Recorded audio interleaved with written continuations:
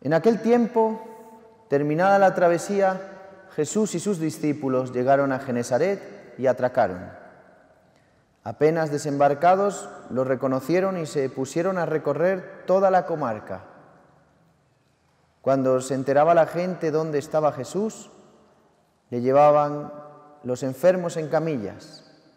En los pueblos, ciudades o aldeas donde llegaba, colocaban a los enfermos en la plaza y le rogaban que les dejase tocar al menos la orla de su manto. Y los que lo tocaban se curaban.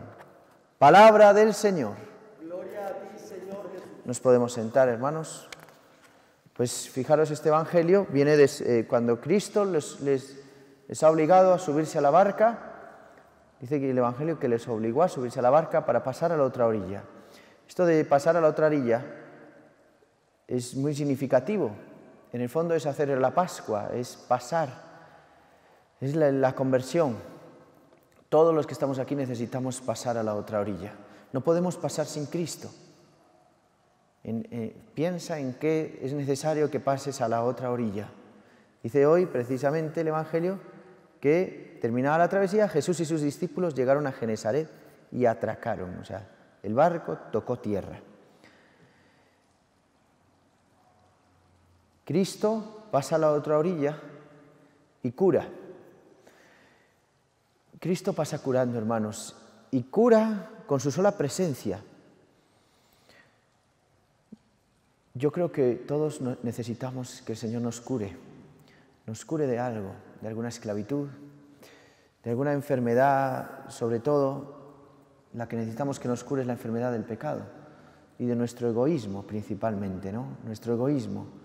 ¿Cuántas veces vivimos egoístamente para nosotros, ¿no? Pensando solo en nosotros.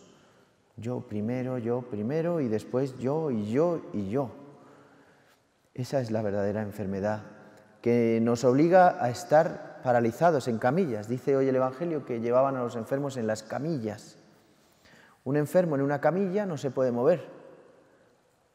Un enfermo en una camilla está paralizado, no puede, digamos, servir. El amor es servir, el amor son obras.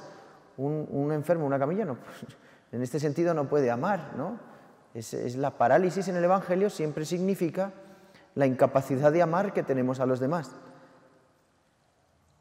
Hoy hay alguien en esta tierra, tu familia, en el trabajo, que tú no puedas amar, entonces estás paralítico en una camilla. Y dice que con solo tocar el borde del manto de Cristo se curaban. ¿Cómo puedo yo tocar a Cristo? Porque, bueno, esto es un poquito ideal, ¿no? Pero ¿cómo puedo yo tocar a Cristo? Pues a Cristo se le toca en los sacramentos. A Cristo se le toca escuchando la predicación. A Cristo se le toca en la confesión. En la confesión tú tocas el borde del manto de Cristo y quedas curado. En la Eucaristía tocamos el borde del manto de Cristo. En la Eucaristía tocamos a Cristo. Su misericordia, su amor, hoy un día más, un día más que ha amanecido para nosotros, que hemos abierto los ojos, que podíamos no haberlos abierto. Los hemos abierto, hemos, estamos, estás respirando, ¿verdad? ¿Ves? ¿Ves con tus ojos? ¿Estás viendo? Etcétera. El Señor, además de darnos la vida, nos da su amor.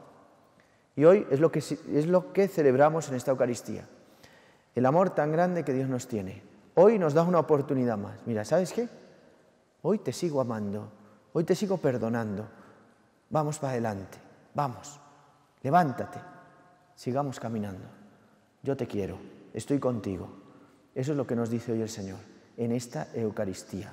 Por eso hoy en esta Eucaristía el Señor muere y resucita una vez más por cada uno de nosotros. Que el Señor entonces, hermanos, podamos tocar a Cristo y Él, con esa fuerza maravillosa que dice que salía de Él, nos lleve a poder amar, que nos levantemos de esa camilla en la que estamos postrados, que podamos pasar a la otra orilla con Él, que podamos vencer esa muerte que significa el mar y que podamos vivir resucitados, que no es otra cosa que vivir amando, amando a aquellas personas que Dios ha puesto en nuestro camino para que amemos. Que así sea, hermanos.